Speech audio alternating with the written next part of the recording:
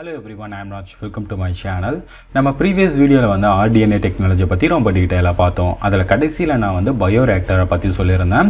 ஆனால் அந்த இடத்துல நான் வந்து ரொம்ப தெளிவாக வந்து பயோ ரியாக்டரை பற்றி சொல்லலை. அதனால் இந்த வீடியோவில் நம்ம ரொம்ப தெளிவாக பயோ ரியாக்டரை பற்றி நம்ம டீட்டெயிலாக பார்க்க போகிறோம் சரி வாங்க வீடியோக்குள்ளே போகலாம். இந்த பயோரியாக்டர் வந்து எதுக்கு ஹெல்ப்ஃபுல்லாக இருக்குது அப்படின்னா இப்போ வந்து நம்ம ரீகாம்பினன்ட் பேக்ட்ரியா வந்து ஒன்று ரெடி பண்ணிட்டோம். இந்த பாக்டீரியாக்குள்ளே நம்மளுடைய டிசைர் ஜீன் இருக்குது இது வந்து நம்மளுடைய ப்ராடக்டை வந்து உற்பத்தி பண்ணிகிட்ருக்கு நமக்கு தெரிஞ்சிருச்சு இதையே வந்து நம்ம ரொம்ப அதிகமாக வந்து உற்பத்தி பண்ணணும் அப்படின்னா அதுக்கு இந்த பயோரியாக்டர் வந்து ரொம்பவுமே வந்து ஹெல்ப்ஃபுல்லாக இருக்கும். ரொம்ப அதிகமான ப்ராடக்டை வந்து உற்பத்தி பண்ணுறதுக்கு தான் இந்த பயோரியாக்டர் வந்து நம்ம யூஸ் பண்ணுறோம் இந்த பயோரியாக்டர் அப்படின்றது ஒரு இன்ஸ்ட்ருமெண்ட் பார்க்கறதுக்கு இந்த மாதிரி தான் இருக்கும். ஒரு பெரிய வெசல் இருக்கும். அண்ட் இந்த பயோரியாக்டர் வந்து ரொம்ப சின்ன சைஸும் கிடைக்கும். அண்ட் ரொம்ப பெரிய பெரிய சைஸ்லையும் நமக்கு கிடைக்கும். அண்ட் அதே மாதிரி இந்த பயோரியாக்டருக்குள்ளே வந்து பார்த்தீங்கன்னா ஒரு கண்ட்ரோல்டு கண்டிஷன் இருக்கும். அதாவது இதுக்குள்ளே வந்து எவ்வளோ டெம்பரேச்சர் இருக்கணும் எந்த அளவுக்கு வந்து பிஹெச் இருக்கணும் ஆக்சிஜன் இருக்கணும் அப்படின்றத நம்ம வந்து கண்ட்ரோல் பண்ணிக்கலாம். ஸோ அதை தான் நம்ம வந்து ஆப்டிமம் கண்டிஷன் அப்படின்னு சொல்லுவோம். அதாவது கண்ட்ரோல்டு கண்டிஷன் அப்படின்னு சொல்லுவோம். இந்த பயோரியாக்டருக்குள்ளே அப்படி தான் இருக்கும். அதே மாதிரி இந்த பயோரியாக்டரில் நம்ம எந்தெந்த மாதிரியான ப்ராடக்ட்டை உற்பத்தி பண்ணுவோம் அப்படின்னா vitamins antibiotics organic acid amino acid இந்த மாதிரியான ப்ராடக்ட்டை வந்து நம்ம உற்பத்தி பண்ணுவோம். ஒரு சிலர் வந்து நினச்சிட்டு இருப்பீங்க இந்த பயோரியாக்டருக்குள்ளே வந்து நம்ம பிளான்ட்டெல்லாம் எல்லாம் உற்பத்தி பண்ணலாம் அப்படின்றது அந்த மாதிரிலாம் இதில் பண்ண முடியாது.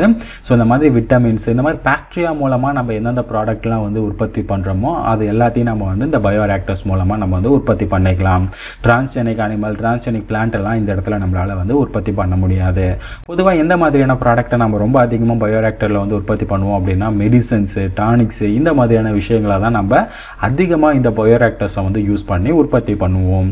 சரி இந்த பயோரியாக்டர்ஸ் வந்து ரெண்டு டைப்பில் இருக்குது ஒன்று ஸ்டியர் டைப் இன்னொன்று வந்து ஸ்பார்ஜ் டைப் இந்த ஸ்டியர் டைப் அப்படின்றது வந்து ரொம்ப காமனாக யூஸ் பண்ணக்கூடிய பயோரியாக்டர் அண்ட் இதை தவிர டிஃப்ரெண்ட் டைப் ஆஃப் பயோரியாக்டர்ஸ் இருக்குது என்னென்ன ப்ராடக்ட்டை வந்து உற்பத்தி பண்ணுறாங்க அப்படின்றத பேஸ் பண்ணி அந்த பயோரியாக்டர் இருக்கும். ஆனால் காமனாக இந்த ரெண்டு பயோரியாக்டர் தான் இருக்குது நம்ம வந்து ஸ்டியர் டைப் பயோரியாக்டரை பற்றி மட்டும் நம்ம டீட்டெயிலாக பார்க்க போகிறோம் இதான் வந்து ஸ்டியர் டைப் ஆஃப் பயோரியாக்டரோட ஸ்ட்ரக்சர் இப்படி தான் இருக்கும். சரிங்களா? அது ஸ்டியர் டைப் ஆஃப் பயோரியாக்டரில் என்னென்ன பார்ட்ஸ் இருக்குது அப்படின்னு தெரிஞ்சாலே நமக்கு அது எப்படி ஒர்க் ஆகுது அப்படின்றது தெளிவாக தெரிஞ்சிடும் முதல்ல பார்த்தீங்கன்னா ஒரு மோட்டார் இருக்கும் அஜிடேஷன் சிஸ்டம் அப்படின்னு சொல்லுவோம். இது எதுக்காக அப்படின்னா உள்ளே நம்ம வந்து மீடியம் வந்து ஊற்றி வச்சுருவோம். அந்த மீடியம் வந்து ஒரே இடத்துல அப்படி தேங்கி இருந்தால் கரெக்டாக இருக்காது.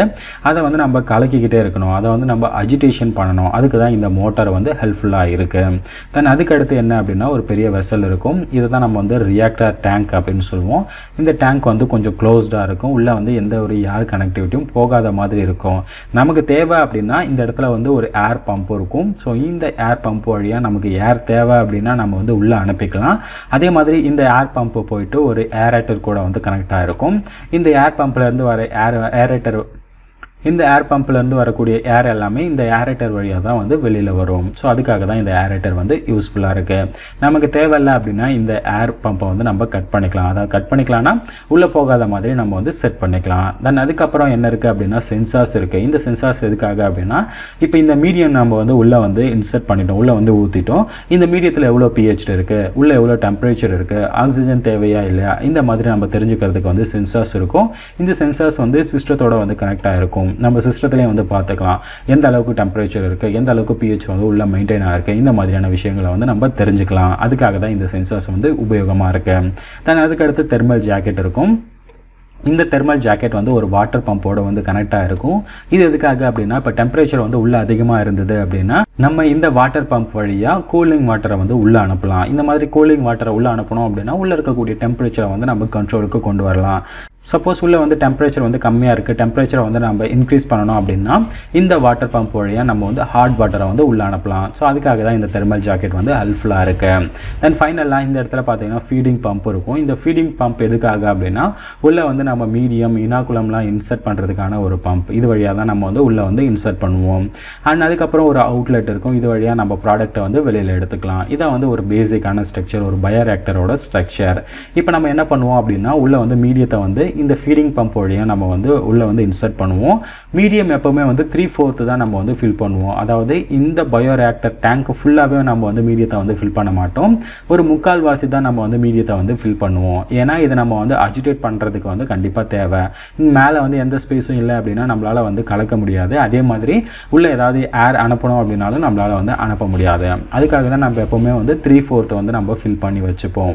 இந்த மீடியம் அப்படின்றது என்ன அப்படின்னு கேட்டிங்கன்னா இதுதான் வந்து பாக்டீரியாக்கான ஒரு ஃபுட் மெட்டீரியல் பாக்டீரியா வளர்றதுக்கு தேவையான ஃபுட் மெட்டீரியல் தான் நம்ம வந்து மீடியம் அப்படின்னு சொல்லுவோம். மீடியத்தை வந்து ஃபஸ்ட்டு வந்து த்ரீ ஃபோர்த்தை வந்து நம்ம உள்ளே வந்து ஊற்றி வச்சுக்கிறோம். தென் அதுக்கப்புறம் நம்ம வந்து இனாக்குலத்தை வந்து ஆட் பண்ணுவோம். இனாக்குலம் அப்படின்றது நம்ம ரீகாம்பினன்ட் பண்ணி வச்சுருக்க பாக்டீரியா இதுதான் வந்து நம்ம இப்போ நமக்கு தேவையான ப்ராடக்ட்டை வந்து உற்பத்தி பண்ணக்கூடிய பாக்டீரியா இதை வந்து நம்ம கொஞ்சம் பாக்டீரியா வந்து ரெடி பண்ணி வச்சுப்போம். ஓகேங்களா?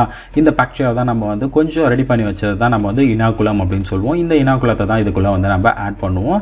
அந்த இந்த இனாக்குலத்தில் இருக்க பாக்டீரியா தான் வந்து இந்த சாப்பாடெல்லாம் சாப்பிட்டு மல்டிப்ளை ஆகி நமக்கு ரொம்ப அதிகமான பாக்டீரியாவாக ஆகிடும் அந்த பாக்டீரியா எல்லாத்தையும் வந்து நம்ம இது வழியாக நம்மளுடைய ப்ராடக்ட்டை வந்து அது உற்பத்தி பண்ண ஆரம்பிச்சிடும் ரொம்ப அதிகமாக சிந்தசிஸ் ஆச்சு அப்படின்னா அந்த பாக்டீரியா எல்லாத்தையும் நம்ம லைசிஸ் பண்ணி அதிலிருந்து நம்மளுடைய ப்ராடக்ட் எல்லாத்தையும் இந்த அவுட்லெட் வழியாக நம்ம வந்து எடுத்துக்கலாம். அதுக்காக தான் இந்த பயோரியாக்டர் வந்து ஹெல்ப்ஃபுல்லாக இருக்குது அண்ட் இன்னொரு விஷயம் என்ன அப்படின்னா இது வந்து கண்டினியூஸ் பர்பஸ்க்காக உருவாக்கப்பட்டது. ஒன்ஸ் நம்ம வந்து இப்போ இனாக்குலம் போட்டுட்டோம் இந்த இடத்துல ஃபுல்லாகவே வந்து இப்போ நமக்கு தேவையான ஃபேக்ட்ரியாக வந்து இருக்குது அது அண்ட் இதெல்லாம் நம்ம அவுட்லெட் வழியாக நம்ம வந்து எடுத்துக்கலாம். அதே மாதிரி கீழே வந்து கொஞ்சோண்டு நம்ம ஃபேக்ட்ரியாக வந்து விட்டு வைப்போம். இது வந்து இனாக்குலமாக வந்து ஆட் பண்ணும்.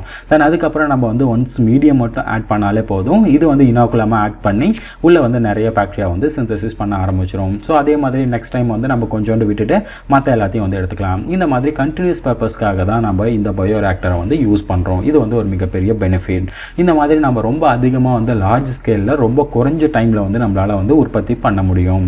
ஸோ இதுக்காக தான் நம்ம வந்து பயோரியாக்டரை வந்து யூஸ் பண்ணுறோம் இந்த பயோரியாக்டர் எப்படி ஒர்க் ஆகுது அப்படின்றது உங்களுக்கு நல்லாவே வந்து தெரிஞ்சிருக்கும். சரி இப்போ நம்ம இந்த பயோரியாக்டர்லேருந்து எடுக்கக்கூடிய ப்ராடக்டை வந்து டைரெக்டாக நம்மளால் வந்து யூஸ் பண்ண முடியாது. அதை நம்ம வந்து பியூரிஃபை பண்ணணும். ஸோ இந்த மாதிரி பயோரியாக்டர்லேருந்து வரக்கூடிய ப்ராடக்டை பியூரிஃபை பண்ணுறதுக்கு பேர் தான் டவுன் ஸ்ட்ரீம் ப்ராசஸ் இந்த ப்ராசஸ் மூலமாக தான் நம்ம வந்து அதை வந்து யூஸ் பண்ணக்கூடிய ப்ராடக்டாக நம்ம அதை வந்து மாற்றுவோம் ஸோ அந்த ப்ராடக்ட் இப்போ நம்ம பயோரியாக்டர்லேருந்து எடுக்கக்கூடிய ப்ராடக்ட்டை வந்து கூட வந்து மீடியம் இருக்கும் ஒரு சில பேக்டீரியாலாம் இருக்கும். ஸோ அதெல்லாம் வந்து நம்ம வந்து ப்யூரிஃபை பண்ணணும் செப்பரேட் பண்ணணும். ஸோ அதை ஃபஸ்ட்டு நம்ம இந்த டவுன் ஸ்ட்ரீம் ப்ராசஸிங் வழியாக தான் பண்ணுவோம். இந்த டிசைர் ப்ராடக்ட்டை மட்டும் நம்ம ஃபஸ்ட்டு வந்து செப்பரேட் பண்ணி எடுப்போம். எடுத்ததுக்கப்புறம் அந்த ப்ராடக்ட்டை வந்து கரெக்டாக இருக்கா குவாலிட்டியாக இருக்கா அதை கன்சியூம் பண்ணலாமா யூஸ் பண்ணலாமா அப்படின்னு சொல்லிட்டு அந்த ப்ராடக்ட்டை வந்து நம்ம நெக்ஸ்ட்டு வந்து வெரிஃபை பண்ணணும். சப்போஸ் இந்த வெரிஃபை பண்ணும்போது அதோட குவாலிட்டி வந்து நல்லா இல்லை அப்படின்னா அந்த ப்ராடக்ட் எல்லாத்தையும் நம்ம வந்து ரிஜெக்ட் பண்ணிடுவோம். ஸோ அப்போது வெரிஃபிகேஷன் ப்ராசஸ் வந்து ரொம்ப ரொம்ப இம்பார்ட்டண்டான ஒரு விஷயம். ஃபஸ்ட்டு நம்ம வந்து பயோரியாக்டர்லேருந்து அந்த ப்ராடக்ட் எல்லாத்தையும் வந்து வெளியில் எடுக்கிறோம். அதில் இருக்கக்கூடிய டிசைர் ப்ராடக்ட்டை மட்டும் நம்ம வந்து தனியாக பிரித்து எடுக்கிறோம். அதை வந்து நம்ம வெரிஃபை பண்ணுறோம் வெரிஃபை பண்ணதுக்கப்புறம் ஓகே அதை நம்ம எடுத்துக்கலாம் அப்படின்னா அதில் ஏதாவது ப்ரெசர்வேட்டிவ்ஸ் ஆட் பண்ணணும் இல்லை ஃபார்முலேஷன் எதாவது ஆட் பண்ணணும் அப்படின்னா நம்ம ஆட் பண்ணிப்போம். ஏன்னா அதை வந்து ரொம்ப நாளில் வந்து நம்ம வைக்கணும். கரெக்டுங்களா எடுத்த உடனே நம்ம யூஸ் பண்ண போகிறது கிடையாது. கொஞ்சம் நாள் ஆகும். ஸோ அதுக்கு தாங்குற மாதிரி நம்ம ஏதாவது ப்ரெசர்வேட்டிவ்ஸ் ஏதாவது ஃபார்முலேஷன் ஏதாவது ஆட் பண்ணுறதா இருந்தால் ஆட் பண்ணி நம்ம நெக்ஸ்ட்டு வந்து அதை மார்க்கெட்டிங்க்கு வந்து கொண்டு போகலாம். இந்த மாதிரி தான் வந்து மார்க்கெட்டிங்க்கு கொண்டு போவாங்க. பயோரேக்டர்லேருந்து எடுத்ததை ஃபஸ்ட்டு வந்து அதில் இருக்கக்கூடிய டிசைர் ப்ராடக்ட்டை வந்து செப்பரேட் பண்ணுவாங்க. அதை வெரிஃபை பண்ணுவாங்க. அதில் ஏதாவது ப்ரெசர்வேட்டிவ்ஸ் ஃபார்முலேஷன் அதெல்லாம் ஆட் பண்ணுறதா இருந்தால் ஆட் பண்ணுவாங்க. தென் கடைசியாக வந்து அதை நம்ம மார்க்கெட்டுக்கு வந்து கொண்டு போவாங்க. ஸோ இதுதான் பேசிக்கான ஒரு விஷயம். பயோரியாக்டர் அப்படின்றது எதுக்கு யூஸ் ஆகுது அப்படின்றது உங்களுக்கு தெரிஞ்சிருக்கும். மெயினாக அது எதுக்கு யூஸ் ஆகுது அப்படின்னா நம்மளுடைய டிசைர் ப்ராடக்ட்டை வந்து லார்ஜ் ஸ்கேலில் வந்து உற்பத்தி பண்ணணும் அப்படின்னா அதுக்கு பயோரியாக்டர்ஸ் வந்து ஹெல்ப்ஃபுல்லாக இருக்குது அண்ட் இந்த டவுன் ஸ்ட்ரீம் ப்ராசஸிங் அப்படின்றது பயோரியாக்டர்லேருந்து எடுக்கக்கூடிய ப்ராடக்ட்டை ப்யூரிஃபை பண்ணி அதை வெரிஃபை பண்ணி அதை ப்ரெசர்வேட்டிவ்ஸ் எதாவது ஆட் பண்ணுறதா இருந்தால் ஆட் பண்ணி மார்க்கெட்டிங்க்கு கொண்டு போகிறதுக்கு இந்த டவுன் ஸ்ட்ரீமிங் ப்ராசஸிங் வந்து ரொம்பவுமே வந்து ஹெல்ப்ஃபுல்லாக இருக்குது ஸோ இதுதான் வந்து bioreactor and down streaming processing இது உங்களுக்கு நல்லா தெளிவாக புரிஞ்சிருக்கும் அப்படின்னு நினைக்கிறேன். அண்ட் இந்த வீடியோ பற்றின சந்தேகங்கள் ஏதாவது உங்களுக்கு இருந்தது அப்படின்னா மறக்காமல் கமெண்ட்டில் சொல்லுங்கள் இந்த வீடியோ கண்டிப்பாக உங்களுக்கு ஒரு உபயோகமான வீடியோவாக இருந்திருக்கும் அப்படின்னு நினைக்கிறேன்.